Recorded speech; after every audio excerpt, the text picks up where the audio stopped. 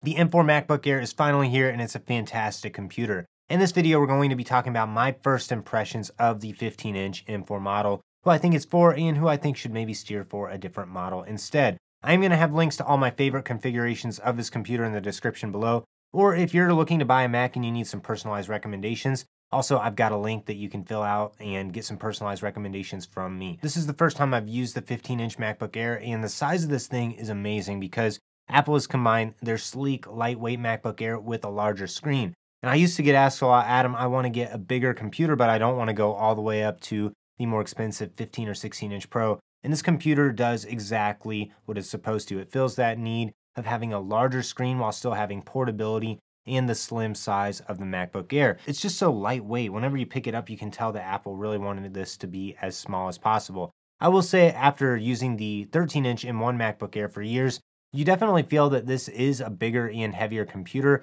but somehow it still feels lighter than my M1 MacBook Pro. So I'm really impressed with the design and the size of it, and also the midnight color looks so great. Over the years, Apple has put the MagSafe port back on the computer, and now we get two Thunderbolt 4 ports on the MacBook Air, which is fantastic because you can use a ton of high-speed peripherals.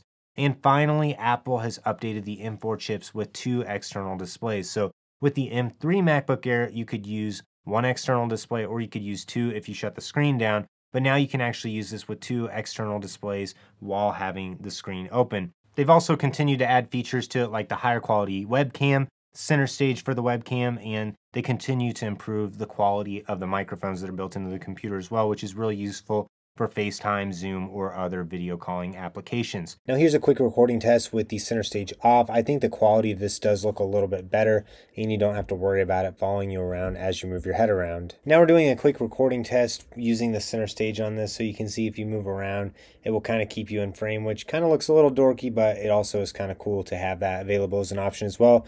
And you can get an idea of the sound quality from the microphones built into the 15 inch MacBook Air.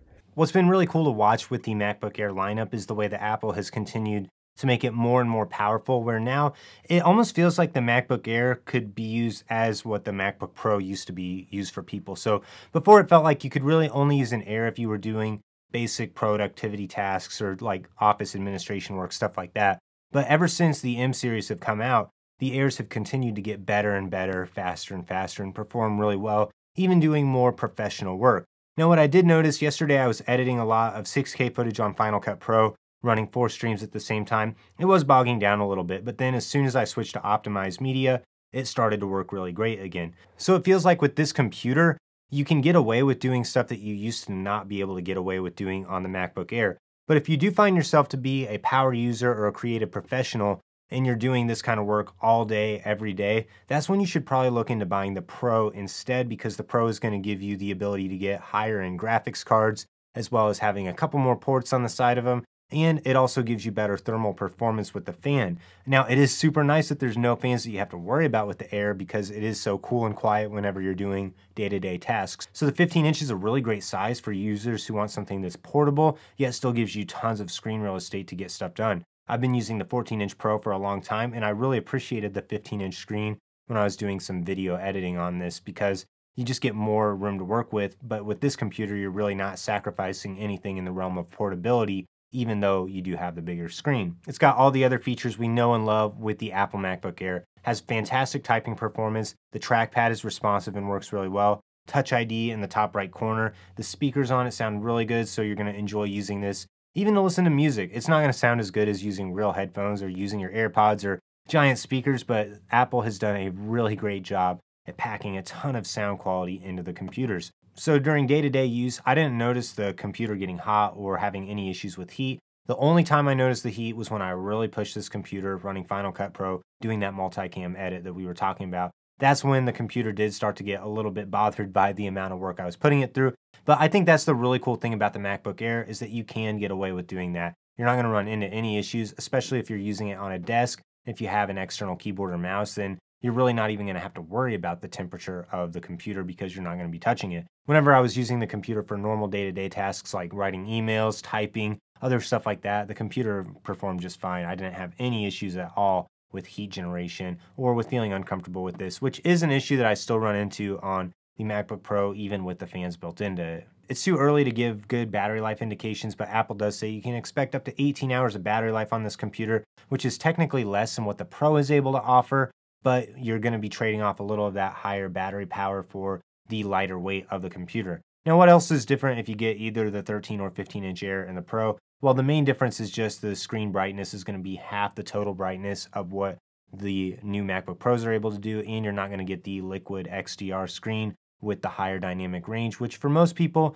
you're really not going to notice that because the screen is still very color accurate and more than bright enough for most day-to-day use. There's really only a few things I have to say that are bad about the Air. The first thing is I do miss the SD card slot and the HDMI port on the side of the computer is always really handy with the new MacBook Pros, as well as the extra Thunderbolt port as well. Those are just the kind of quality of life features that you can get around with by using a dongle or other adapters, but it's nice to have those built into the computer for when you're going to give presentations or just doing day-to-day office tasks. Those are the features that sometimes can really come in handy. And then when they're missing from a computer, you do start to miss them a little bit. Another thing that I will say is even though this is missing the fans, I think for most people it's not going to be an issue. And I've only ever heard negative things about fans from casual users, especially when we had the 2019 MacBook Airs that had all sorts of issues with fan noise. I had so many friends who got those and did not like that computer at all because it was so stinking loud and really interrupted their work. So that's why I'm totally fine with the MacBook Air not having fans because for most users, it's not going to be an issue. It will start to thermal throttle if you're running apps like Final Cut Pro, but again, for the way most people are going to use it, it's really not an issue at all. And it's just crazy to think that this computer had no issues with actually rendering and exporting 4K videos out of my 6K footage that I was working on with my Lumix S5 2X camera. So there's just so much you can get away with using the MacBook Air for. So who is the 15 inch MacBook Air really for? It's for the user who's been looking for a larger screen MacBook without having to go all the way up to the top of the line 16 inch MacBook Pro. You still get a really bright, high quality display, a great keyboard, great trackpad, MagSafe. Now there's Thunderbolt 4 ports on the side, and you also get support for up to two external displays with this computer without having to use any sort of DisplayLink drivers or any extra adapters. So this is a fantastic computer for users who want the bigger screen without having to go all the way up to the more expensive 16-inch MacBook Pro. If you're interested in buying a MacBook Air, I'm going to have links for my favorite versions of the 15-inch in the description below. If you want some personalized help picking out a computer, I've also got a form you can fill out where I'll get back to you and help you decide on a computer for you. Or also, feel free to check out my MacBook Air buyer's guide video.